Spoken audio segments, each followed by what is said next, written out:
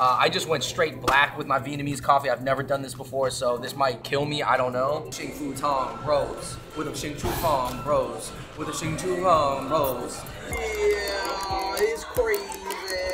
I know all about anime, you know what I'm saying? Yeah, they my people. We took a quick trip back to LA, and of course, we had to eat at all the new restaurants that opened up in our favorite Asian food haven, the 626. There's a brand new food hall started by Asian Americans, there's a new miniature Chinese skewer spot, there's robot made Vietnamese food, and there's also a restaurant that feels like a Chick fil A had a baby with a dim sum restaurant. Only in the 626. Hit that like button and let's go. Our next new concept in the 626 is the Blossom Market Hall. This is a brand new food hall in the Mission District of San Gabriel. The Blossom Food Market was inspired by the 626 Night Market. Basically, you know, put here to have food hall, food market 365 days out of the year. So like, there's always gonna be like new stuff here, but you know, it's not just Asian. They got Jamaican, they got Mexican. And you know there's a lot of foodies in the 626 because food halls are really only in metropolitan like areas with lots of people and you know a lot of that culture. People out here love food. Let's go eat some food. Alright, you guys, we're in front of AK Fresh Roast Coffee. This is almost like taking Vietnamese coffee to like a more in innovative level. I'm from Vietnam, you know, we're more like the Southeast Asia, you know, that we're from there, so I know pandan is very popular. So allow me to do the pandan. I'm a huge coffee drinker. I love coffee. She told me to drink the bottom first and then sip the top and then we'll mix the two. Oh yeah. All right, time to mix it up. Pandan coffee. There's actually a spot in New York that just opened called La Fin, and it is a Vietnamese coffee shop that also put pandan in their drink. I had a hot version here, I have a cold version here. I like both. Have you- did you ever think you would see the Viet coffee mixed with strawberry like that though? Never, never. Yeah, you have to go up and down, bro. Drink it up and down. Tastes like strawberry ice cream. I never thought there'd be jerk chicken in San Gabriel. I'm from Guyana, but it's a from part of the West Indies. Right, right. Awesome. What do you guys think you do best? Um, oxtail stew Okay. is the biggest seller, and the patties, the beef patties. You guys, we are gonna be checking out the first Caribbean, Caribbean, West Indian, Jamaican food you could find in the 626. Oh my. To your knowledge now, have you ever seen Caribbean food in 626? Not in the 626. The only time I ever had it was in New York with you guys, Yo, man. this Right. looks real deal. Thank you everybody for clicking on that video and I want to give a shout out to today's sponsor NIU Mobility. It's a very very popular e-mobility brand that's popular around the world but now it's actually entering the American market. They make some of the dopest moped style fully electric scooters. They even have e-bikes and kick standing scooters.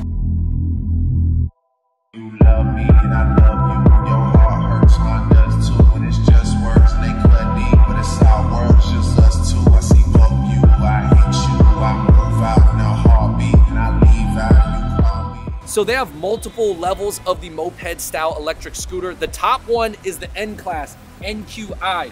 And then the second one you would have is the M. And the smallest model of the electric moped line that they have is the UQI. And their security measures are pretty dope too. Yo, is someone stealing it? Check to see if you have a NIU store in the city near you.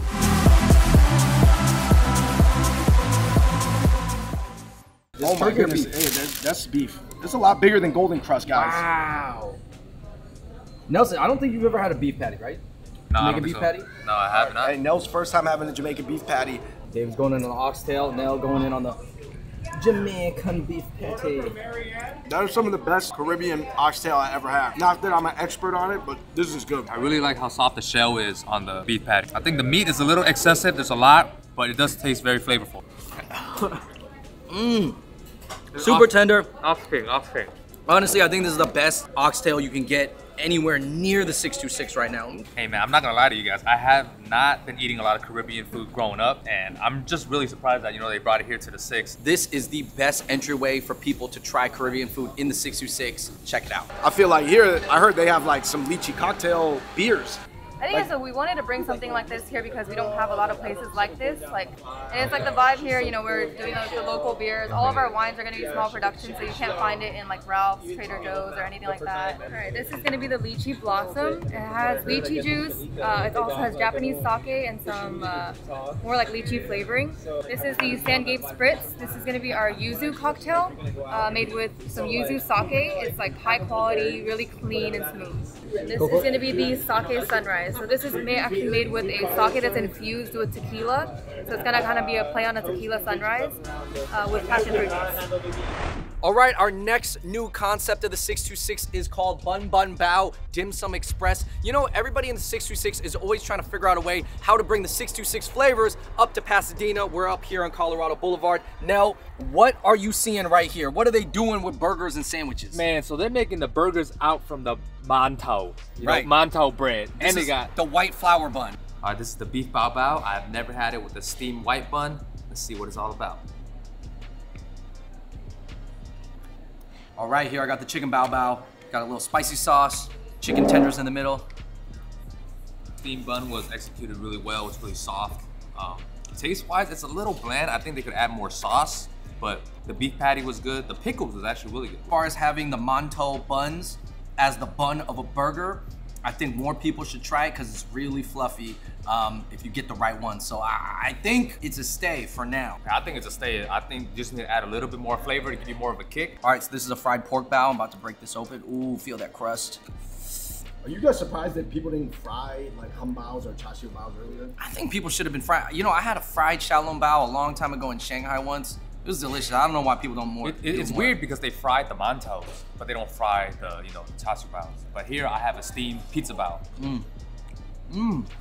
I just really like how soft and fluffy it is. It's very easy to eat. Does it taste like a hot pocket at all? I think better, man. I think one thing more people should do is fry the bao. The outside is crispy, the inside still fluffy.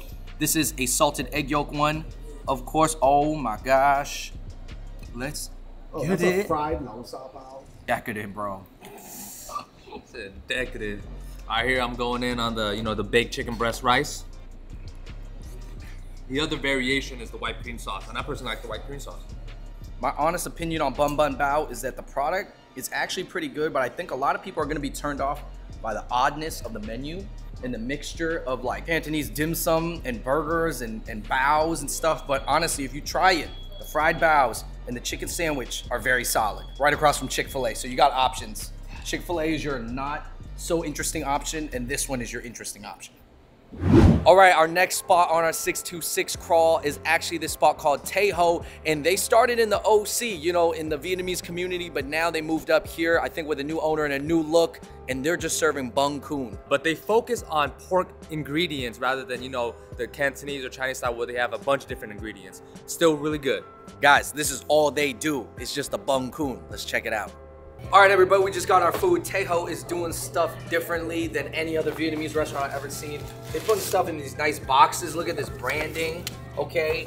They give you this bag, even though I'm eating here. Uh, I just went straight black with my Vietnamese coffee. I've never done this before, so this might kill me. I don't know. Man, they really making it like a fast food spot. Very interesting. Woo! Okay, take a look at the garlic noodles with the uh, beef cubes, of course. That's the classic, you know, filet mignon dish. This actually came out of a machine. That was like a circular drum. And now I've seen that technology a lot. It's supposed to replace like the wok and stir frying. So I don't know. I'm gonna taste it. I'm gonna see how it is. And then this is their classic house special bum coon. Okay, you got the little fried shrimp and like taro cakes. Yeah, the potato cakes with fried shrimp in it. That looks good. You have your greens, your sprouts, obviously your fried onions, bung kun, and then your shalua, chalua. I, I don't know how to say it, but it's you know, it's the sausage. Wow, wow. So what I'm gonna do is I'm gonna take a slice of this. This is this is all going in. Nice little dunk in the. I like it how it overflow and it caught all the nook nook mom, so I'm not wasting it. Traditional Vietnamese food done in a fast food way, man. This is crazy. I really think it's cool how it started in the OC and OC having like the main Vietnamese population in, you know, SoCal. It makes sense. And then now it also makes sense for it to expand and go to other places like 626, where obviously there is a lot of Vietnamese and Chinese Vietnamese people, and people just like Vietnamese food out here in general. Right off the bat, the mm. noodles have a super, super high garlic taste to it, which is really good, very savory. The beef cubes, you know, not super chewy, very tender, very, very tasty. You know, you got your veggies, you know, make it seem kind of healthier, but hey, this garlic noodle with the onions, super good. So while this isn't the first time that I've seen a kind of a fast food version of Vietnamese food, this is the most modern presentation. Something where you're putting it in a box, you kind of mean it to uh, be for like the office crowd where like you would want a corporation to have like an, an office lunch and have order like 30 boxes of Tay Ho, you know, I would definitely come back and I think it's a great spot for lunch. I told you I'm not scared. This is straight black Vietnamese coffee, no condensed milk. Here you got the lychee yogurt. Yogurt is very, very popular nowadays. Let me start with this. Ooh, that was pretty good. Straight black. Woohoo! Straight black to the domey. All right, you guys, our next new 626 concept is Chao Wei Ju. Now, this is actually a Tao Dou restaurant. Now, I know that you have had some Chiu food before in the 626. Oh yeah, growing up I had a lot of Chujao food, but it was mixed with the Vietnamese version, or also you know a Chujao mixed with Cambodian version. But I heard this is the pure Chujao food, like from Chao Zhou. Yeah, this is actually from the Tao Dou region of Guangdong. Pop it up on a map, guys. There are so many Chiu people in 626, whether they're from Tao Dou, from the diaspora. Let's check it out. All right, you guys, we're at Chao Wei Ju. Got to keep it quiet in here. Um, Nell, what do you see that kind of reminds you of the Chiu Zhao Vietnamese food you've had? And then what kind of just looks unique? Uh, definitely, you know, the noodle soups, you know, very common. This spot has less of that satay-ness, you know, from the Viet aspect of it. This is the four fresh cut beef Tao Dou noodle with the uh, ho fun. This is a very clear beefy broth. It's almost like something you made at home, but like with more cuts of beef than you normally would put in. Um, like we said, guys, this is a really popular style in Shenzhen from Shantou. I think uh, the reason why it's very clean is that you can, you know, complement it with any of these sauces. Right, right, right. Let's dip it in a little bit of these, um, into some of these saute sauces. Now, what you going for? This is the garlic, this is the sacha, and this is the chili. So, you know, we're gonna have to go with the OG sacha sauce. Oh, the sauces here are crazy, bro. Hold up, hold up. You got some of these sacha sauces, five out of five. All right, you guys, we are looking at the Tao Zhou fish cakes. And a Chao Zhou beef rib. I noticed that I haven't seen that beef rib at the Chiu Jiao Viet spots, but I've uh, seen these fried wontons. Oh yeah, yeah, for sure. Damn, super tender, packs hella flavor. Right, you can see the oil just dripping on it, man. What type of flavor is it? Very savory. Huh? Rib is good, man. As far as I know, this is like one of the only ways in southern China to eat this because you have to go up to like inner Mongolia to get the other type of, you know, barbaric eating. All right, last but not least, now we got the oyster pancake. Now, there's actually some debate whether Chiujiao people uh, came up with this or it was like a uh, Hokkien, like Xiamen, Fujian thing, but they are right next to each other. So, you guys, some of these things, they are to history. Tao Zhou omelet. Little dip. Woo. Uh, oyster pancake. I think the biggest difference I noticed between the Chiujiao Southeast Asian food and the Chiujiao Chiujiao food is the satay is on the side versus the satay being cooked into the broth. I guess you know there's no right or wrong answer. I think it has best of both worlds. I think the more Canto, you know, Chinese people will probably come to this spot more, whereas the Southeast Asian Cantos will probably go to the Chuzhou, you know, slash Viet slash Cambodian. Yeah, it goes to show you the diversity of sort of just being Chinese. Because when you want something cleaner, you got to get the Chaozhou food. But Yeah. then you want you want You something, want to something just, just, go bam bam bam like it, you gotta get the you gotta get the Southeast Southeast Asian man Yeah, because the flavors be crazy. Nelson, where we at? We are at the famous Xing Fu Tang in San Gabriel, but there is an anime pop-up event today for Jujutsu Kaisen, you know, JJK. I know all about anime, you know what I'm saying? Oh, these your people? Yeah, they my people. Something missing archives, but it is a sneaker consignment store inside of Xing Fu Tang, which is pretty interesting. You know, you got boat and sneakers all in one place. Let's check it out. What are the advantages and disadvantages of having a sneaker store right inside of Xing Fu right inside. Well, the advantage is that people is like it's unexpected, right? It's like an added experience. The disadvantage is like because they're not expecting it, they, they don't really, you know, what I mean, like they're not here to like purchase. They're just here to kind of like look. So the, the usual like um, demographic for boba, you know, what I mean, it's like the cool kids.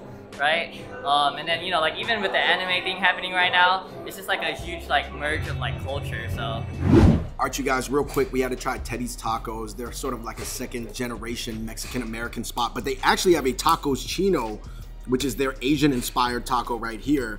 And they told me actually uh, their sriracha and then Asian slaw, which is the sort of pickled Asian fusion like Korean purple cabbage that uh, Kogi made famous. So, you guys, full circle. Kogi taco was like you know, a Korean chef cooking Mexican tacos. Here's a Mexican cooking Asian inspired tacos. Yo, that's pretty good, guys.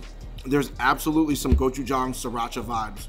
I actually think that this uh, tacos chino with the cheese baked in, so it's almost like a queso taco, definitely has legs. Because um, if you look at, for example, the Kogi taco was a little bit more on the Asian side. This is a little bit more on the Latino Mexican side, but both are a fusion and a fusion done well. All right, you guys, we're at Ipoh Malaysian Kopitiam. Uh, they are from Ipoh, Malaysia, which is nearby Penang. Uh, the way they cook their soft-boiled eggs for the kaya toast here is pretty interesting. They drip this uh, hot water into another chamber, and once the water disappears uh, like a cafe suda press, then the egg is ready. Um, this is kaya toast right here. Let's bust it open. That's kaya jam. Big old piece of ao yao Slab butter butter. right here. Ah, just get it. Get it. Oh, man. Toast, pop. Ah, Wow. Nice. I did actually did not expect it to look like that. ah,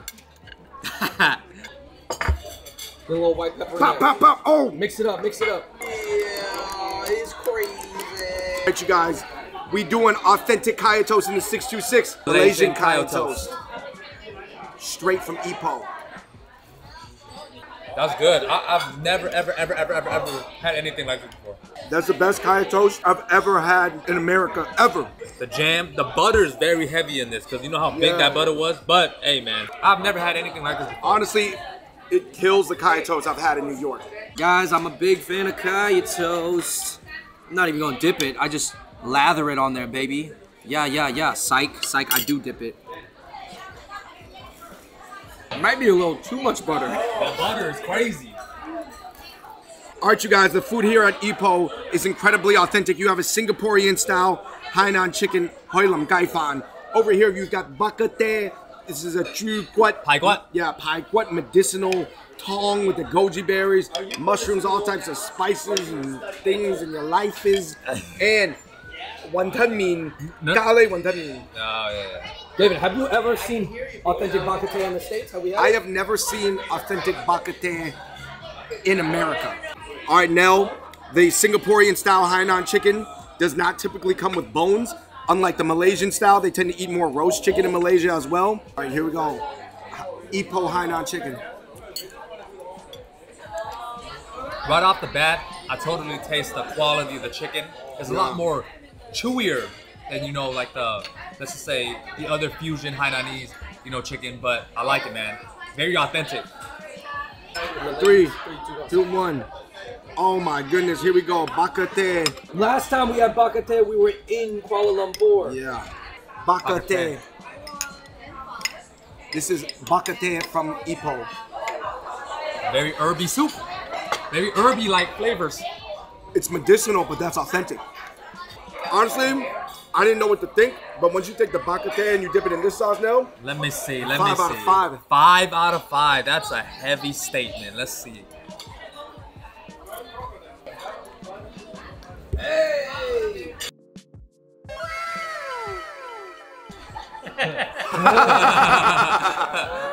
Last but not least, we have the wonton mee, which is a wonton mee, but it's kale kai. So uh, curry wonton mee. So this is supposed to be together. the noodles have a ton of soy sauce, Malaysian style, sesame oil. Um, let's just try it. All right, one ton. All right, you guys, wrapping up our meal here at Ipoh. I've got a uh, warm Milo, and you've got a uh, thousand plus. This is a Malaysia only drink. A Thousand or a hundred? A hundred. Oh, then you you going a thousand. Yeah. Honestly, I think this is one of the most authentic Malaysian uh, Chinese restaurants I've ever been to in my entire life. Uh, I'm glad it's here in the 626. I think the 626 was being shortchanged by not having enough good Singaporean Malaysian food, and Ipoh changes that. I lived here for a very long time, and this is by far the best Malaysian spot. well Walao eh. Here. That's that's the boss. That's the boss.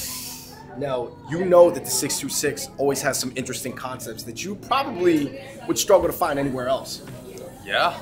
We are at a corgi themed boba shop, but that also serves souffle pancakes that apparently jiggle like corgi butts. Way that thing jiggling, man. Remind me of some porky booty.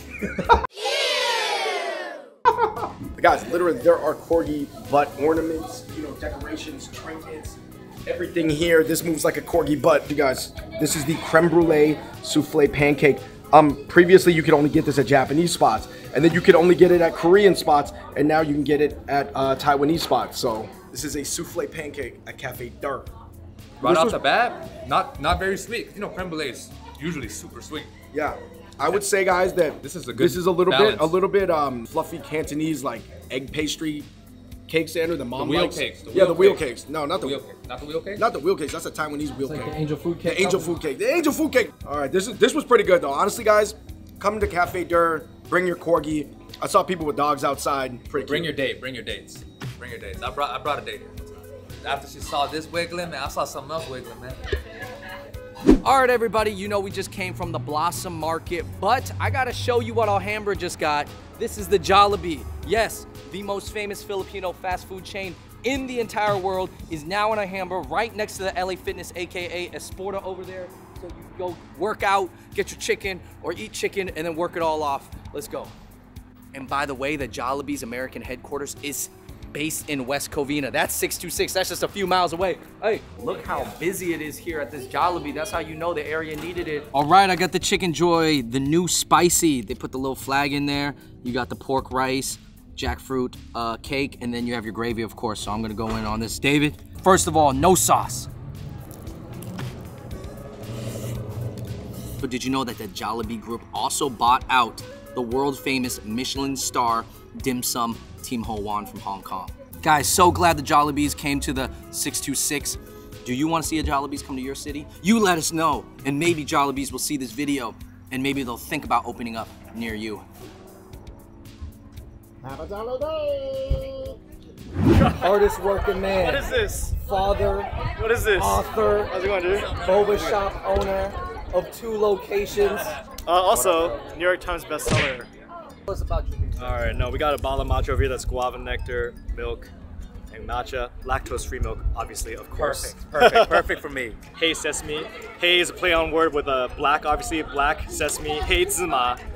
Uh, Nionai. It's a milk, lactose-free milk. All for you. That's a puree there. Look how doesn't that look? Like, it looks like a ink blot Chinese painting. Yeah, dude. We have a new. We actually yeah. The people that have been watching, maybe they know that we're always here, but we actually have a second location opening in Cerritos, Artesia, like right on the border. Uh, South go- Street? Yeah, on South Street. Uh, it's an awesome like area, a lot of foodie spots there, a lot of great great uh, concepts and businesses. But anyways, opening up end of this month, March. So we'll see you in Artesia. Our third anniversary was just like past week.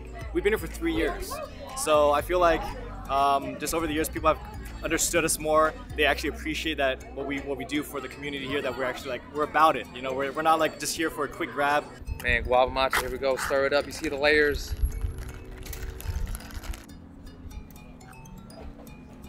Wow, that was very refreshing. I, I love the guava. The guava hits first, and then afterwards, the aftertaste, you feel the, you taste the matcha. You know, the boba is always great here at Bopomofo. Very soft, very chewy. All right, let me try this black sesame right quick. See you in the big screen. Tastes just like Tong Yuan. You guys know the black sesame rice balls? It tastes just like it. All right, our next spot is Mellow Mellow Dessert. If you are from the 626, you already know this is the most aesthetic kind of coconut jelly spot in the game. Um, it was started by a Wenzhounese woman in America. This is the first location in San Gabriel. So shout out to the Wenzhounese ladies out there. All right, this is it. Comes in this jar, glass. So you got a little bit of matcha powder on top. You got a little cream, a little red bean on top. It's jiggly. It is real jiggly. It's kind of really soft. I thought it was a little softer than I thought. It's hot, man. Milk. That is the most decadent, creamiest red bean dessert I maybe I've ever had. Because you know, red bean is a hit or miss. I would highly recommend it, everybody. Mellow, mellow. All right, you guys, our next concept that is new to the 626, but not new to Southern California, is Irvine's very own All That Shabu. It is a Korean owned chain, but as you can see, really sort of like caters to the Americanized population. The fob chains from China often open up in Rowland or 626, like San Gabriel first. Not but- that many in OC. Yeah, right, right. But the Asian Americans are starting to like not necessarily go to like Xiaolong Khan or Da Long Yi, right? They're more coming to all that shabu. All right, you guys. Uh, they do clearly have some things that they don't have at the Chinese shabu, which is the baby octopuses. Oh my Yo, god. this is It's very crazy. Korean right here. Oh shoot, you guys, we got to get some of the dango. This is very, very Japanese and Korean right here. All right, you guys, they got some of the uh, Korean barbecue sides right here, some of the panchans. Okay, they got some KFC. All right. When we meet KFC, we're talking about Korean fried chicken, of Hey, course. uh, These are Korean Japanese sauces. I'm just gonna get one full of sesame, one full of perilla with cilantro. That's very unique. Well, is, is this cool to have this many like kind of Asian American shabu spots in the six? Um, I think it's definitely a cool option to have, but personally for me, I prefer both traditional shabu shabu and traditional Chinese hot pot over this particular style. Right, but how's the vibes though? I mean, they're blasting No, music. no, the vibes is here. I mean, they got K-pop booming. I think this is more catered towards the younger crowd. I think if you want taste, I do agree that you know you might want to go with more Chinese style, uh, as it packs a lot more flavor in their soup bases. And here it's not a bad choice. You know, I feel like it's a little bland. Asian Americans, I feel like sometimes they, I don't want to say fall victim, but fall into that American mindset where the ambiance and the decor matters more than the Oh, for food. sure, 100%. and it really just depends on what metrics you value and prioritize in your life. Hey, at the end of the day, it's a good thing that you know we have that variety where that you you want to go Fabi spot or you want to go to an Asian American spot. You know, it's good that you know it's more diverse that way. All right, you guys, we had to come back during a time where the line died down a little bit. Um, no, they have a Melona Bar seasonal flavor at Xing Fu Tong, which started in Taiwan. I, I've been to Taiwan. I had Xing Fu Tang in Taiwan. By far the best boba I have ever had in the entire world. But Um, for it to come to the 626, it's crazy. Let's get the Melona Bar Boba though. Xing Fu Tong Rose with a Xing Chu Fong Rose with a Xing Chu Fong Rose. XT Rose. I got their limited edition Hollow Balo. Is Hollow it? Purple. Hollow Purple drink. By the time you guys watch this video, you can't buy this drink anymore, but I'll just let you know how it is. It's pretty good. It's like a flavored soda. This really has a very strong Melona bar flavor. They partnered directly with Melona to make it happen. So this is not like a knockoff imitation, guys. Don't be a loner. Get Melona. You know, Xing Fu Tong, it came from Taipei, then it landed in Flushing, then it came to Rowland Heights, and then it went back to East Village. Even though the Melona one's cool, I'm gonna stick with the OG. I actually like the Hollow Purple a lot. Our next concept that is brand new to the 626, and I believe America, is called Little Skewer. Now, remember, there was a time where just having a new skewer spot was like a big deal. Is it possible that the little skewers are better than the big skewers? I'll tell you this, looks like there are some party fobs that agree with that statement. Find out. We are at Little Skewer. The owner is from Dongbei. And I'll tell you this, Dongbei people, they know how to bring a very interesting, fun party Chinese vibe. I had no idea that this place would look like this stepping in here, man. Basically, everything here is a tiny portion on a tiny skewer. That's crazy. All right, you guys, we are at Little Skewer, aka uh, Xiaojiu Dian, and we have ordered a bunch of Xiao Chuar. This means that these are like micro skewers. It's almost like the slider of burgers, but to skewers. Now, what you going for, man? For me, this looks the most whimsical. One straight section of corn. That is crazy. Who had the time to do that? Chuar. I think the concept behind Little Chuars, and actually nobody told me this, is it just feels like more fun for less money. Yeah. with the bigger skewers, sometimes you gotta like give it half half. Like here's half for you, half for me. This one, no sharing needed. How is you gonna eat four skewers at the same time? Now I know you play pro ball in Asia, and you guys went to uh, Liaoning one time. We right? did go to Liaoning and we ate a bunch of these, man. This uh, brings back a lot of good memories when I was out in Asia.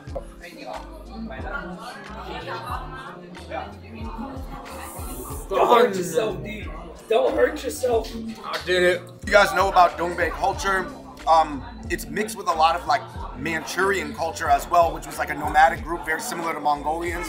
And I think that that's why you have such like hearty, you know, warrior food like the Chwars. Think about just going in the war in the middle of the night, blizzard cold, you start a fire, have some chores, man. Yeah, and just chill with your homies. Probably the rest of your like crazy soldier types. I mean, that's Drink what people beer, are doing right drink now. beer, and just like, hey, thinking back in the day, man, they probably just chopped up some boar and just Yeah. cook it on the Hey, yo, fire. history repeats itself, guys.